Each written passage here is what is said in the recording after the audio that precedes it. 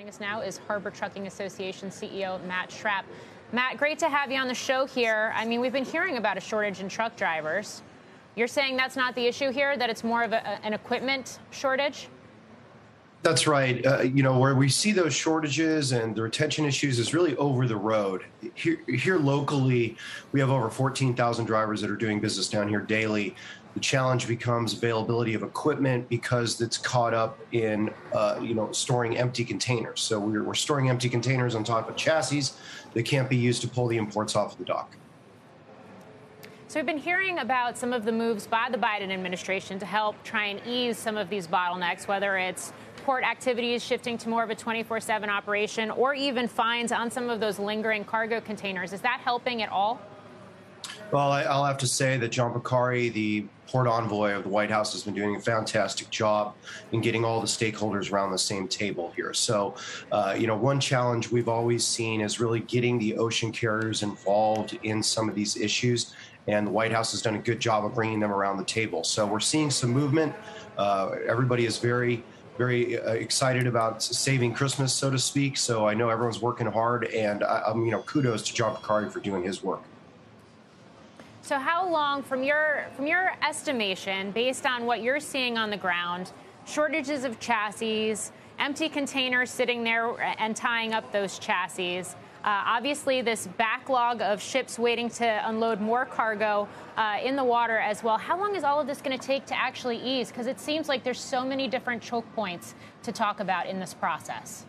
Yeah, there are, and unfortunately, you know, I don't, I don't have a crystal ball. I'd probably be doing something different, to be honest. But uh, you know, I've heard third quarter next year. I've heard 2023. It's hard to say. We've got a lot of volume unprecedented volume. In fact, no port complex in the United States has ever ever handled this many containers. And the challenges with the chassis, although there's might not be a shortage necessarily, but they're definitely being eaten up because we're storing empty containers.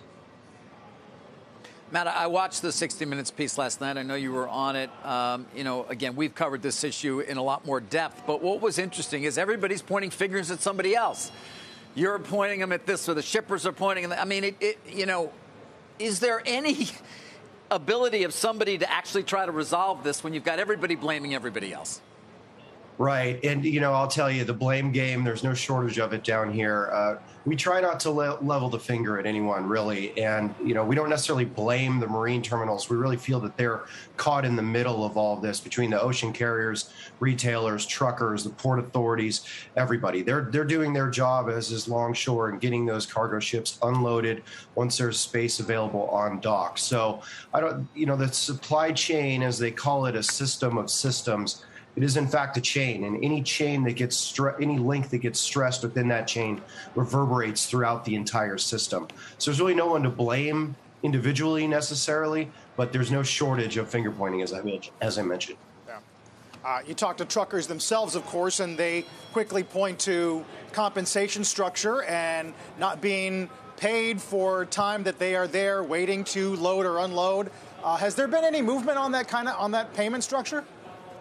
Well, I'll tell you, it really depends on who you ask, to be honest. Uh, you know, we have a lot of drivers who are paid for their waiting time. We have folks who are employee drivers who are paid by the hour.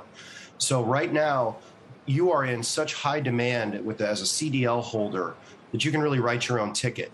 So some of those folks who are perhaps thinking that they're getting that lower than what is deserved wage, uh, they can go and look around for the higher wage, and that that's essentially what lends itself to the trucker shortage is a challenge with retention because people are always seeking out that higher that higher that higher pay.